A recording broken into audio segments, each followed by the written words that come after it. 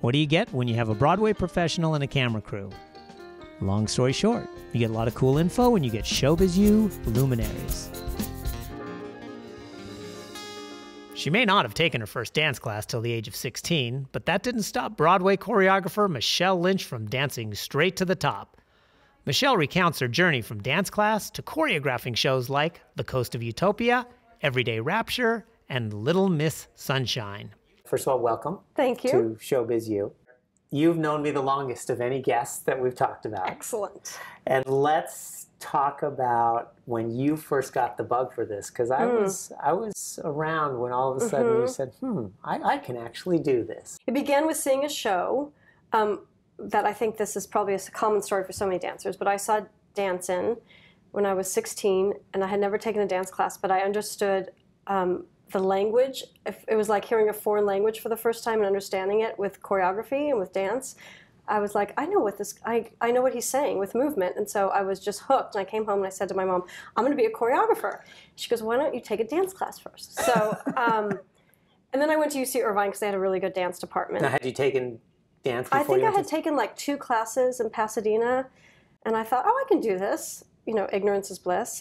And it was actually Chet Walker who um, said to me, you know, if you want it, do it, but don't do it half-ass. Go full on and do it.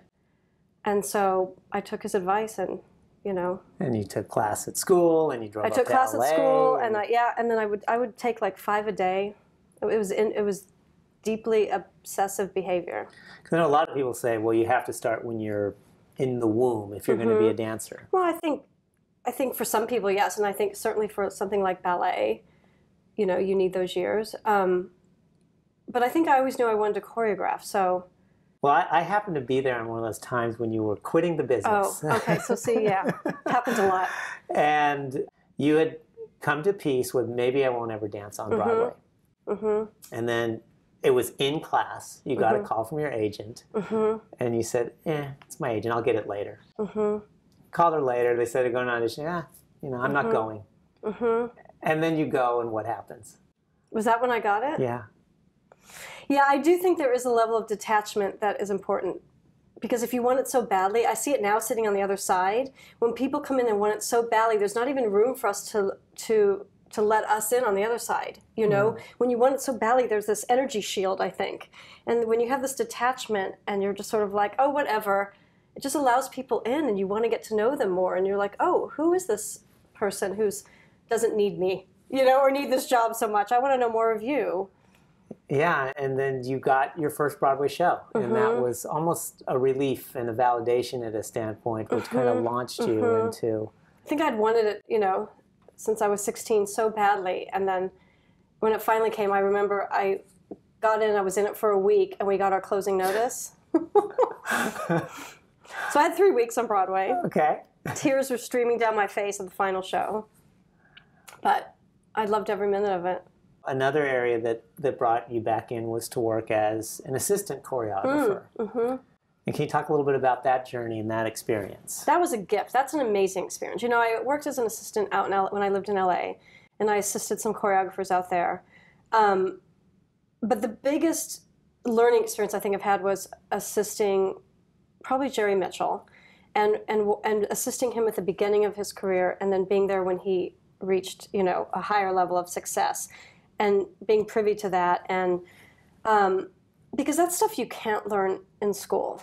You know, you can't buy that. You can't buy sitting in a Broadway house and watching what goes on, and watching um, a brand new show go from start to finish.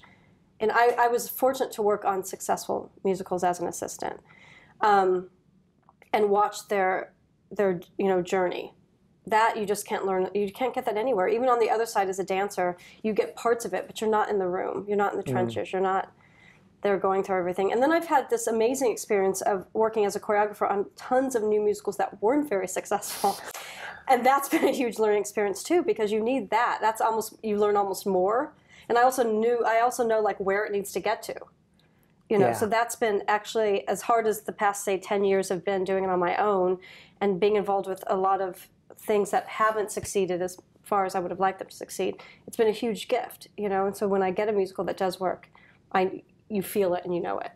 And now, flashing forward, you're the one that's mm-hmm. sitting behind the table, and you mm. have all these teens and 20 somethings that are coming in with these mm-hmm. amazing dreams. Um, mm-hmm. If you could give them a little bit of advice, what would be that advice? The advice would be don't waste your time doubting yourself, you know, and, and trust that you chosen this and go for it. And you know, if I look back, if I looked back on my calendars of my life, and and I look back at the times that I had off, like a month here or two months here, you know, or even a week, and those times I'm just like, oh, I don't have the money, and I don't have this, or I don't have a job, and I have this whole day free. I would look back at now and go, oh my God, you had a month off in New York City? You know, there's so much to do. I would have enjoyed that time. I would have gone to museums. I would have you know, done. I just would have done so much more with my time instead of spent it worrying and stressing because rent always got paid. I always had food to eat. It somehow always worked out. Note to self, you know. so I would have just now, I, but I do look at time differently. When I have time off now, I look at it as the gift of time, and I try and enjoy it because when you don't have it, yeah. you want it. And can you think back to one of the first times you you got that job? Oh, mm-hmm. Oh, I'm now being paid mm-hmm. as a choreographer. Mm-hmm. Everything I've wanted to do, somebody's mm-hmm. giving me. Mm-hmm. What what was that? Terrifying, because then you, you know it's so easy to judge. That's I think the easiest thing in the world to do is judge, and the hardest thing to do is okay, put yourself is to put yourself out there, and know that you're going to be judged.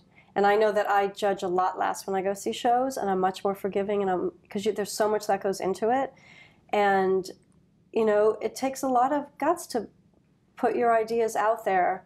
And it is like standing naked, and because people are looking at it and judging it. Yeah. So it's terrifying. Um, and I think I just care, I just, now that I've been doing it for a while, I just care less what people think. And I think that's very freeing. Um, that's probably just a good lesson in life. They're all life lessons, ultimately.